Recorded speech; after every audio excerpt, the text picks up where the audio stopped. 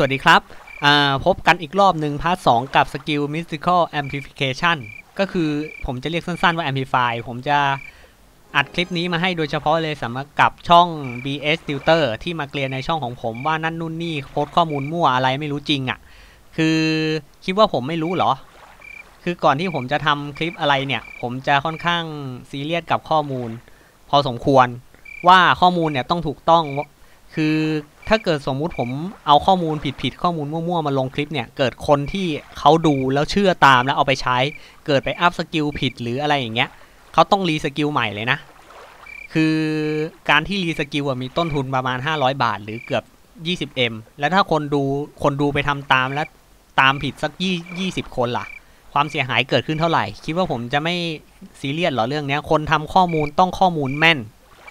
อาจจะมีความผิดพลาดเกิดขึ้นได้บ้างเป็นบางครั้ง ขอเน้นว่าบางบางครั้งเท่านั้น คือยอมรับได้ว่าคนคือคนยังไงมันก็ต้องมีผิดพลาดกันบ้าง อันนั้นผมเข้าใจได้ แต่การที่ทำข้อมูลมั่วๆ ผมยอมรับไม่ได้ เพราะฉะนั้นผมจะไม่โพสต์ข้อมูลมั่วๆ แน่นอนก่อนทำคลิป ผมจะอย่างน้อยจะทดสอบศึกษามาอย่างดี พวกสูตรคำนวณพลังโจมตีหรืออะไรทั้งหลาย ผมก็พยายามศึกษา ผมคำนวณได้ แต่อาจจะไม่เป๊ะในทุกรายละเอียด เพราะมันยิบย่อยมากทศนิยมปัดทิ้งตรงไหนตรงไหนนับรวมตรงไหนไม่นับรวมอะไรอย่างเงี้ยโคตรปวดหัวเลยขอบอก จริงๆ คือแค่ผิดพลาดนิดเดียวอะเลขไม่ตรงแล้วแล้วมันยังมีเงื่อนไขอะไรตั้งหลายแหล่มากมาย เช่นเอ่อweapon attack นับ size penalty คือค่าเขาเรียกว่าอะไรอะโทษโทษของไซส์อะ ภาษาไทยผมไม่รู้เขาเรียกว่าอะไรคือไปตี เช่น ดาบไปตีขนาดกลางขนาดใหญ่อะไรอย่างเงี้ย ที่มันไม่ร้อยเปอร์เซ็นต์อะอะไรพวกเนี้ย แต่ equip attack กับไม่สนพวกไซส์อะไรอย่างเงี้ย คือไม่ถูกลดอะไรอย่างเงี้ยมันมีรายละเอียดยิบย่อยบางอย่างนับโจมตีเป็นธาตุกลางเฉพาะบางอย่างคูณ2อย่างอะไรคือยิบย่อยมาก เพราะฉะนั้นไอ้เรื่องพวกเนี้ยข้อมูลเนี่ยผมพยายามจะศึกษาแล้วก็ค่อนข้างซีเรียสพอสมควร เพราะฉะนั้นในเรื่องเนี้ย เคลียร์นะ ก็คือเรื่องของข้อมูล โอเค ต่อไปที่ผมจะพูดถึงคือในเรื่องของแสงของคทาที่มีคนมาบ่น ก็คือ IBS นั่นแหละ คือแสงของคทาก่อนที่ใช้สกิลแอมไอ mystical amplification ซึ่งผมจะคราวนี้ผมจะซูมให้ดูไว้ให้เผื่อไอ้เจ้าเด็กสายตาสั้นนั่นเอาไว้ดู คราวนี้จะได้เห็นกันชัดๆเลย คือหลังจากใช้สกิลอะแสงมันจะยังอยู่ที่คทาแต่ถ้าผมใช้สกิลโจมตี คือ amplify หายแล้ว แล้วผมใช้เนี่ย ก่อนทุบอะแสงมันจะไม่มี แต่ถ้าผมใช้ปุ๊บ สกิลผลยังอยู่ แล้วผมใช้ใหม่ แสงก่อนทุบอะมันจะต้องมี โอเค บางคนอาจจะมองไม่ชัด ผมไม่ ผมไม่ว่าอะไร ผมจะใช้อีกอันหนึ่งที่ปฏิเสธไม่ได้คือสกิล heal คือถ้าผมถอดคทาออก ถ้า Amplify ยังอยู่ ผมจะ heal อยู่ที่ 411 แต่ถ้า Amplify หมด ผมจะ heal ที่ 312 แล้วก็จะ 312 ตลอดไป เพราะผมไม่ได้ใส่อาวุธ เพราะว่าอาวุธเนี่ย มันจะทำให้ค่าพลังโจมตีแกว่งตามเลเวลของอาวุธ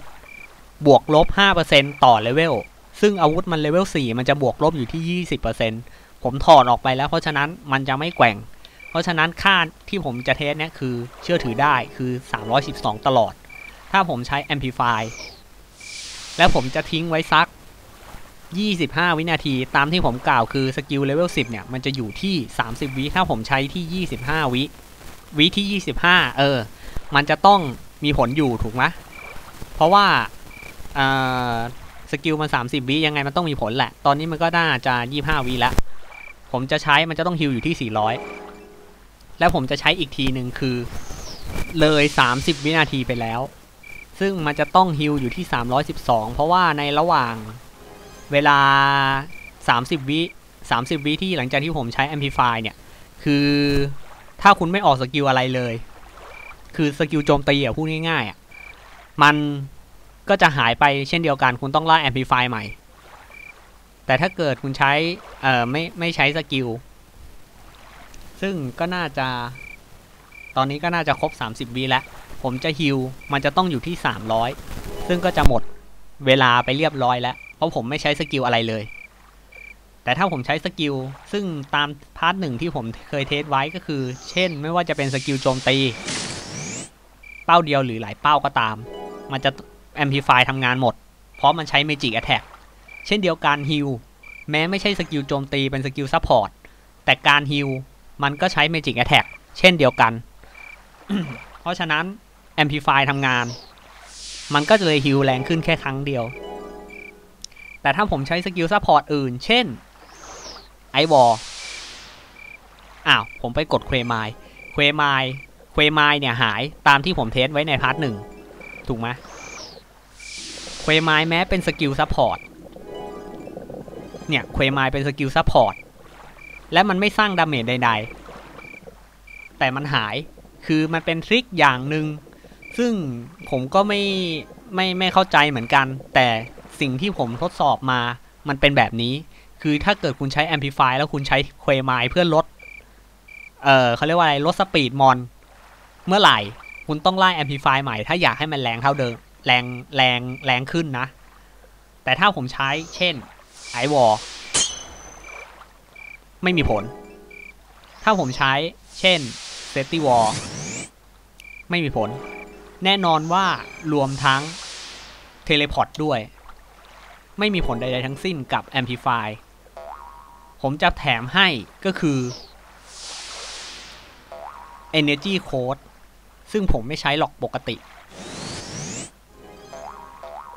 ไม่มีผล ผมจะแถมให้ Stone Curse ไม่ว่าจะติดหรือไม่ติด สกิลเนี้ย Amplify มีผล แต่ Stone Curse ไม่สร้าง damage ใด ๆ ไม่ติด ผมก็ heal อยู่ที่300